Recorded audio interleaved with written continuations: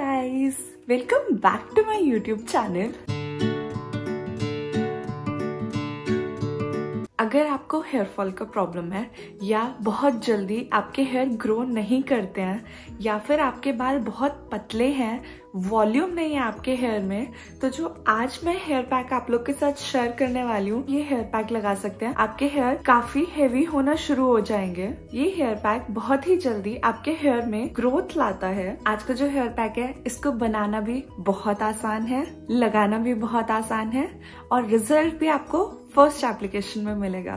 तो चलिए, देख लेते हैं कि हेयर पैक बनाते कैसे हैं। तो इस हेयर पैक को बनाने के लिए सबसे पहले हम लेंगे थ्री स्पून कलौजी टू स्पून मेथी दाना। अब इन दोनों को हम अच्छे से कर लेंगे ग्राइंड हमें ये पाउडर बहुत ही फाइन फॉर्म में चाहिए। नेक्स्ट हम ऐड करेंगे टू स्पून कैस्टर ऑयल और अब ये पैक बनाने के लिए जो हमें लास्ट चीज़ चाहिए वो हो गई दही।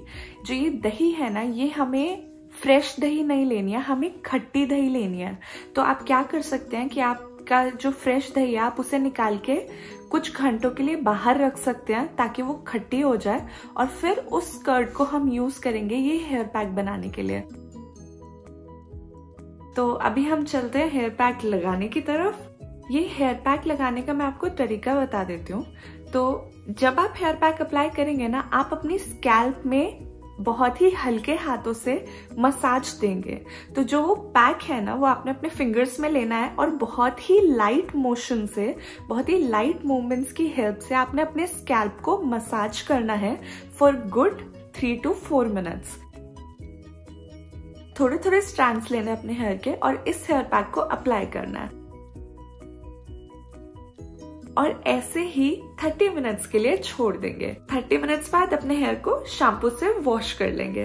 That's it you will get ऐसा result see how good my hair are looking तो मैं हेयर पैक निकालने का तरीका भी आपको बता देती हूँ। आप नॉर्मल वाटर से रिंस करेंगे और अपनी फिंगर्स की हेल्प से ऐसे पहले अपना पूरा हेयर पैक निकाल लेंगे जो हमने लगाया और उसके बाद शैम्पू से वॉश कर लेंगे। अगर आपके हेयर बहुत ज़्यादा ड्राई है और आपको लगता है कि आपको अभी भी कंडीशनर का ज़रूरत है तो आप कंडीशनर भी अप्लाई कर सकते हैं। बट मुझे आज कंडीशनर का ज़रूरत नहीं लगा था तो इसलिए मैंने सिर्फ़ नॉर्मल वाटर से वॉश करके शैम्पू किया है। शैम्पू के बाद मैंने अपने हेयर को ऐसे ही सूखने दिया और अभी आप मेरे हेयर देखो, कितना प्यारा शाइन आ रहा है मेरे हेयर में। तो इस हेयर पैक ने हेयर ग्रोथ तो दिया ही दिया, आपके हेयर में वॉल्यूम दिया, आप देख सकते हैं कितना बाउंसी फील आ रहा है मेरे हेयर में। साथ साथ शाइन भी ऐड किया और डीपली कंडीशन तो किया ही किया।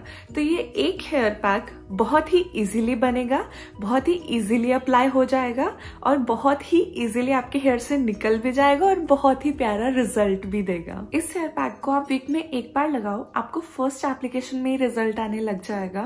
तो आज मैंने कुछ नहीं किया है, बस ये हेयर पैक अप्लाई किया है और उसके बाद शैम्पू किया है। That's it and that is the result जो मुझे आज की इस रेमेडी से मिला है।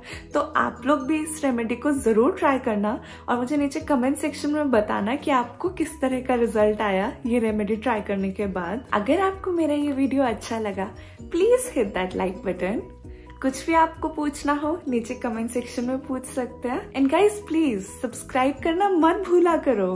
नीचे सब्सक्राइब का बटन दबाओ। Subscribe to my channel now तो ये थी हमारी आज की रेमेडी अब हम मिलते हैं हमारी नेक्स्ट वीडियो में। Children take care bye bye